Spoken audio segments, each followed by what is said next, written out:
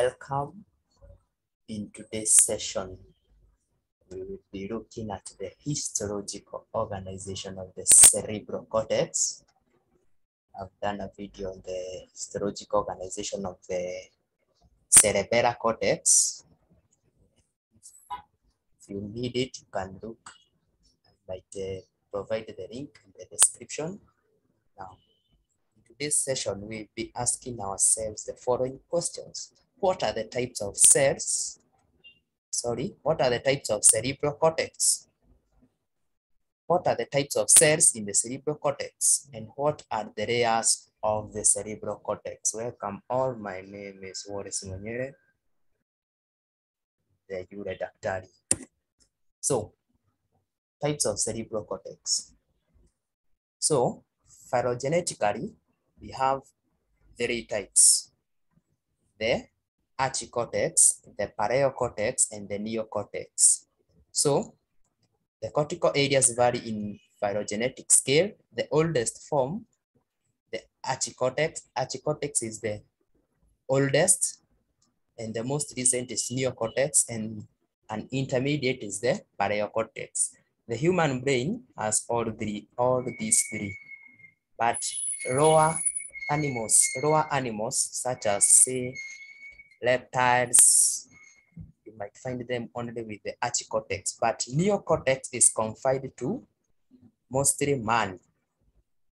But archicortex, neocortex is confined to man and higher primates, but the archicortex is found in all vertebrates. So the archicortex and the paracortex together constitute the allocortex. Archicortex is phylogenetically the oldest and constitutes the, a sizable portion of the cerebrum of lower vertebrates. In man, this is rather primitive cortex and is only represented in the hippocampus and, by, and parts of the encephalic regions.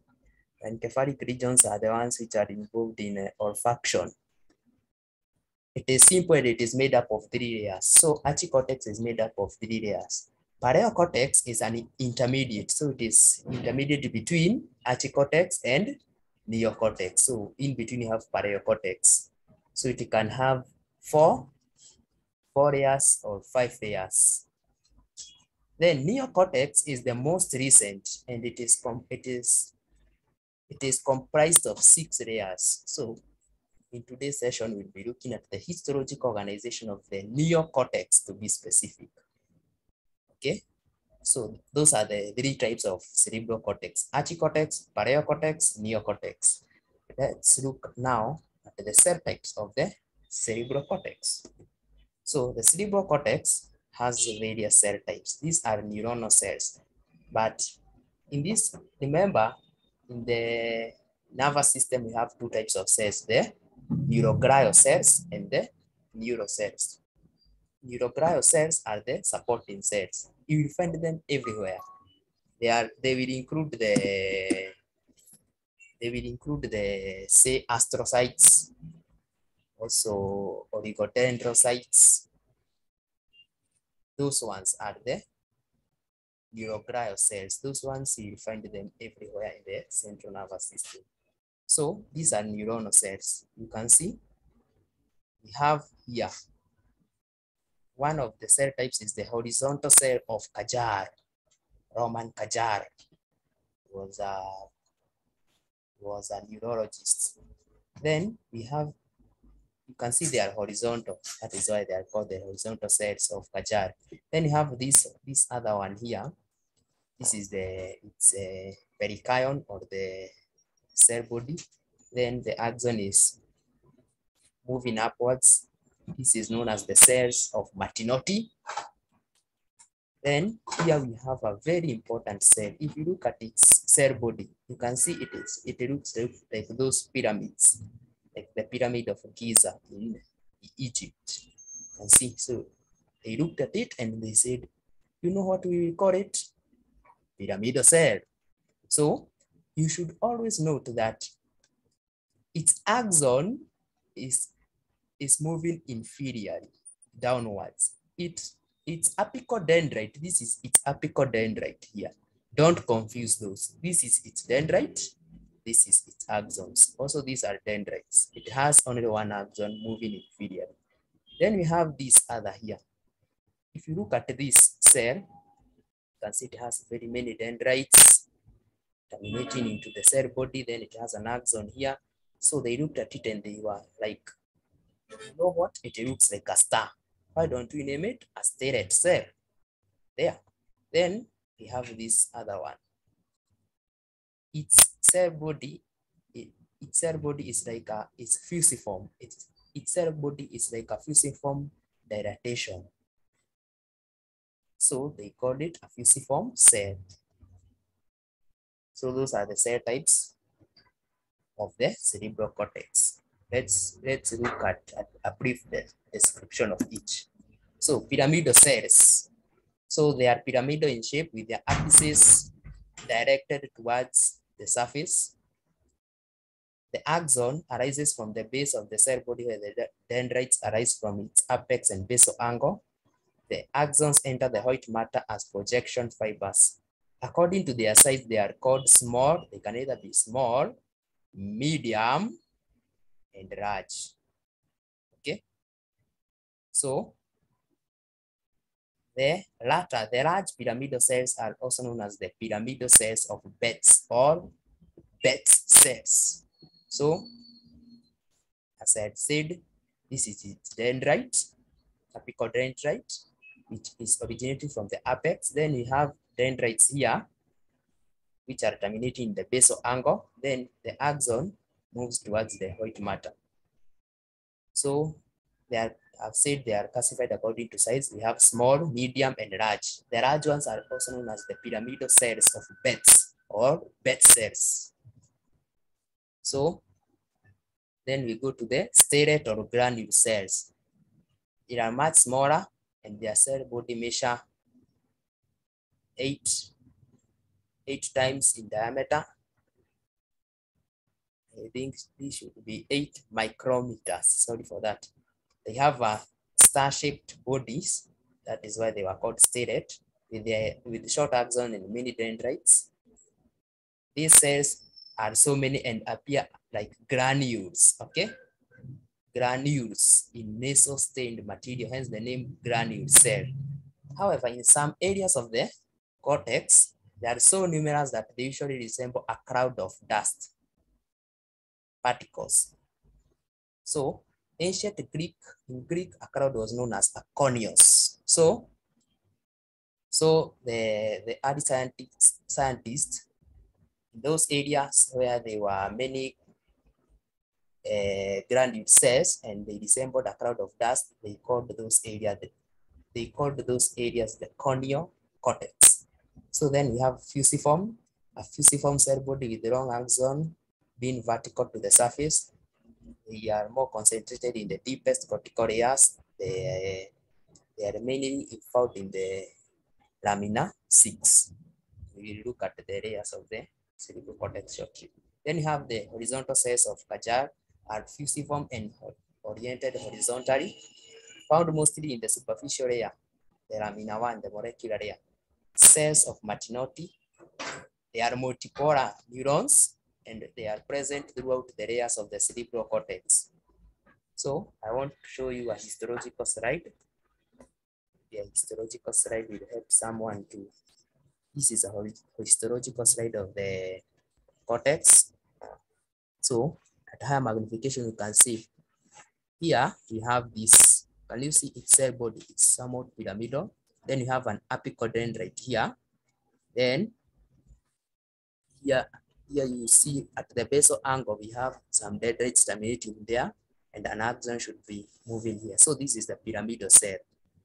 Okay, and you can see there are many.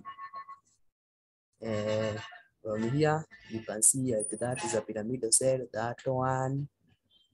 Now this one here, you can see it has star-like processes. Yeah, star, many dendrites terminating into it, so that is a stellate cell.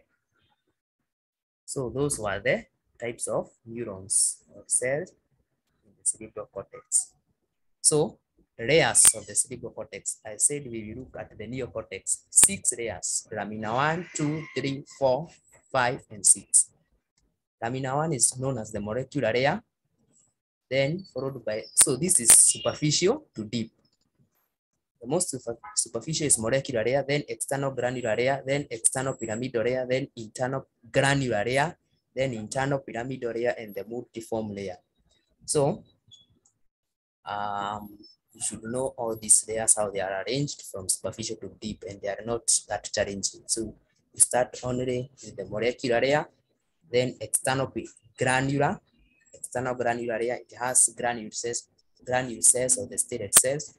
Then external pyramidal layer, we mostly have the small pyramidal cells.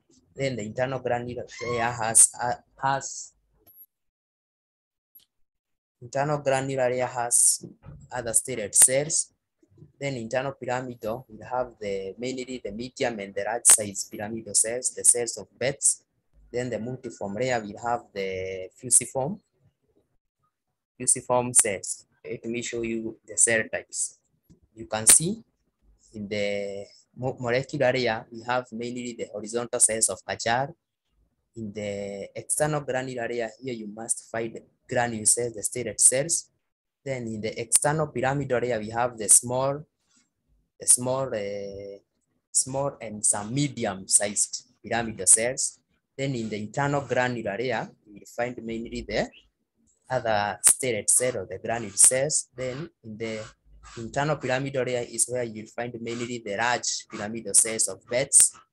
Then in the in the in the the, the layer six multiform layer, you find mainly um, mixed cells the fusiform. Note that cells of Martinotti are present throughout. In any in any of the lamina, we have the cells of Martinotti. So let's look at that in the text. So molecular stroke plexiform, the outermost, predominant is made up predominantly of nerve fibers and few scattered horizontal cells of Cajal. External granular is made up mainly of densely packed stellate stroke granule cells.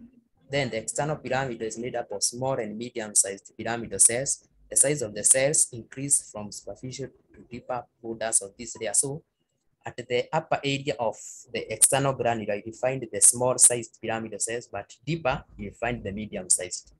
Then the internal granular is made up of closely packed stellate cells. In the middle of this, so granular, always remember granular layer has granule cells or the stellate cells. In the middle of this layer is a horizontal band of white fibers known as the white stria or the external band of Baillarger, Baillarger. So in the external, sorry, in the internal granular layer, you'll find in the middle we have uh, some white fibers which traverse it horizontally. That is known as the white stria or the external band of Baillarger. So it is most marked in the visual cortex, especially in the cortex that is found at the banks of the calcarine sulcus. You'll find it very, the external band of Baillarger is very prominent there. And uh, in that area, it is known as the stria of Gennari, stria of Gennari.